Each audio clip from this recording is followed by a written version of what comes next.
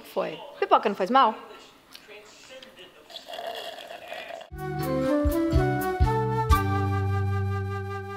Pipoca é milho e milho faz bem.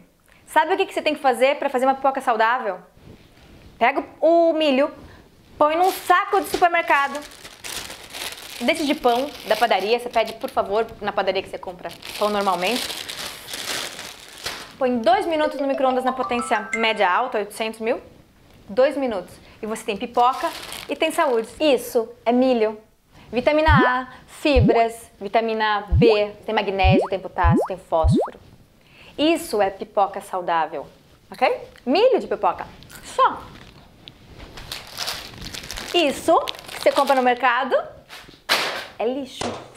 Tem mais de 450 calorias num pacote de pipoca cheio de adoçante, corante, conservante. Você não precisa nada disso. Um pacote de pipocas. Dois minutos no micro-ondas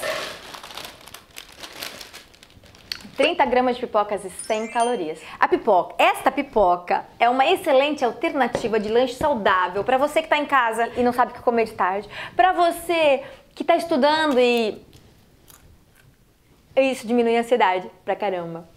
Pra você que acorda de noite e não sabe o que vai comer e vai e de repente pega um pacote de bolacha, não faça isso. Essa pipoca é uma alternativa saudável a lanches como um pão com queijo de tomate ou com suco de laranja. É uma alternativa saudável a iogurte com cereais, a uma maçã com uma fatia de queijo e uma castanha do Pará que, são, que é muito saudável também. Mas essa pipoca toda tem só 100 calorias, muito menos do que os lanches que eu falei. Mas uma coisa importante que você não pode esquecer é que esse tipo de pipocas, aliás, qualquer pipoca, não se dá a bebês e nem a idosos, porque a casquinha do milho pode engasgar. Você não quer também. Por isso, se você tem sensibilidade ao glúten, faz pipoca. Se você tem colesterol alto e não sabe o que comer, faz pipoca. E pra você que não tem doença nenhuma, sorte a sua, né? Você também não vai querer ter. Pipoca salada. Desta pipoca. Ah, antes que eu me esqueça, peraí. Sabe outro benefício? Não suje os dedos.